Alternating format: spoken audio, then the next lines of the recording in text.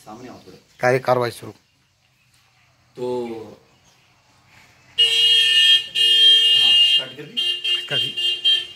नमस्कार मैं जगमोहन शास्त्री आपका प्रभु मिलन ध्यान योग साधना आश्रम ठेड़पुरा बद्दी के बीच में आपका स्वागत करता हूँ। तो लोगों के बहुत से प्रश्न है कि योग की शुरुआत कैसे करें? तो योग की शुरुआत के लिए सबसे पहले आप इस प्रकार हाथ जोड़ करके वज्रासन लगा लें और वज्रासन में ओम का जाप करें।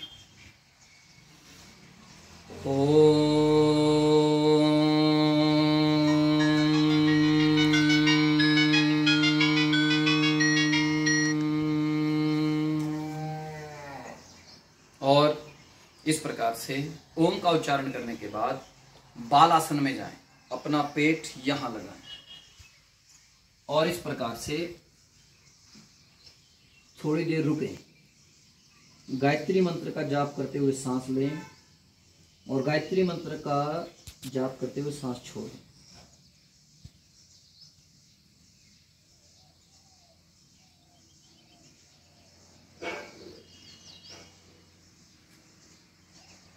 धीरे धीरे वापस। अब हम थोड़ा सा यहाँ पर शशांक आसन की ओर चलेंगे। इससे चेहरे की सुंदरता बढ़ती है और इसके बीच में एक हाथ का गैप, यूँ। और ऐसे पीठ लंबी करते हुए आगे जाना है। ये। सांस लंबा गहरा लेना और छोड़ना। थोड़ी देर इसमें ठहरना है, रुकना है थोड़ी देर।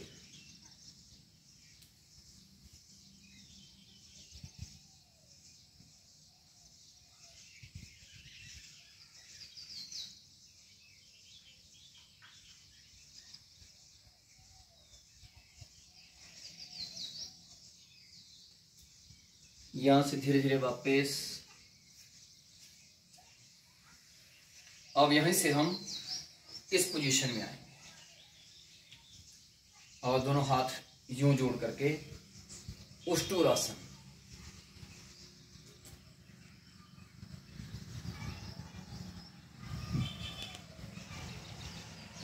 सांस लेते हुए पीछे जाएँगे, सांस छोड़ते हुए आगे।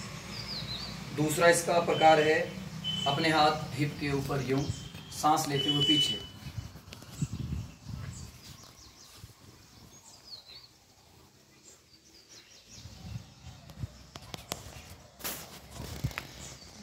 धीरे धीरे आगे शरीर के साथ ज़बरदस्ती नहीं करनी है, स्थिरम सुखम आसनम। पहला सूत्र है, स्थिरता, सुख, वही आसन है। और संभव हो तो हाथ यूँ और अपनी एड़ियाँ यूँ पकड़े। नहीं तो कोई बात नहीं। ऐसे। नॉर्मल सांस लेते हैं। छाती के रोग खत्म हार्ट अटैक की संभावना बड़ी कम चेहरे की सुंदरता गले का रोग खत्म थायराइड खत्म। थोड़ी देर रुकें। हर आसन में कम से कम 10, 15, 20 सेकंड रुकना है।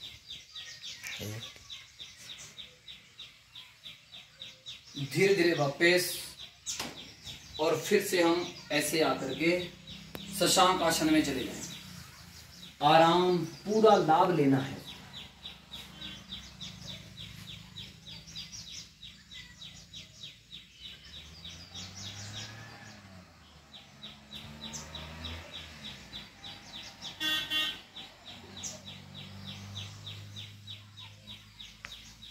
लंबे गहरे सांस।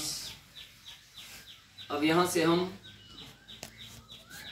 घोटक आसन की स्थिति में आए कमर दर्द के लिए जो हम आसन कर रहे हैं, कमर दर्द के लिए बहुत ज़्यादा लाभकारी है। अब हम दायां पैर उठाएँगे यूँ और बाएँ हाथ से पकड़ लेंगे। इस प्रकार।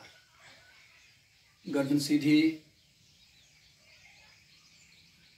लंबा गहरा सांस।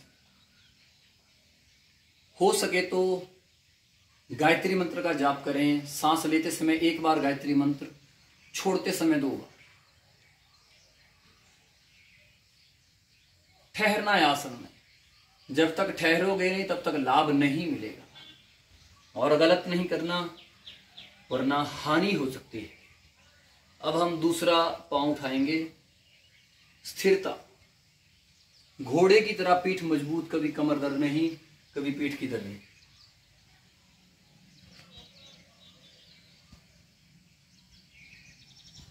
लंबा और गहरा सांस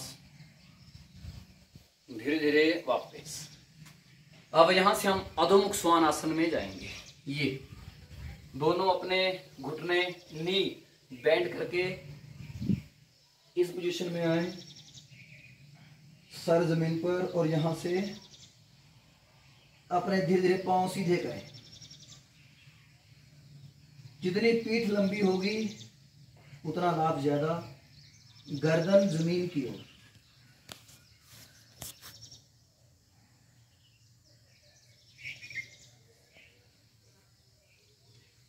यहाँ रुकना है। कम से कम आधा मिनट। जल्दी नहीं करनी है। जल्दी करोगे तो नुकसान पाओगे। ठहरोगे तो लाभ। आँखों की रोशनी बढ़ेगी। बाल झड़ने की समस्या खत्म। आँखों के काले घेरे ठीक होंगे, चेहरे की सुंदरता बढ़ेगी, पर तब जब इसमें रुकोगे, तब।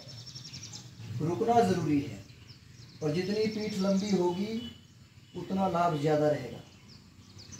बीच बीच में आप बैंड भी कर सकते हैं। अब यहाँ से फिर हम शशांक आसन में जाएँगे। ये ये पोजीशन फिर उसका लाभ लेंगे।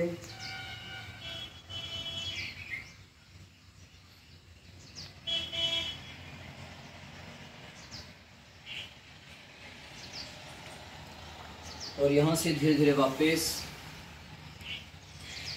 तो ये योग की शुरुआत है। सुबह उठ करके इस प्रकार से हाथ चलाना या जल्दी जल्दी करना, ये नुकसान देता है। इस प्रकार से शुरुआत करें और फिर अंत में ओम का जाप, लंबा गहरा सांस। ओम।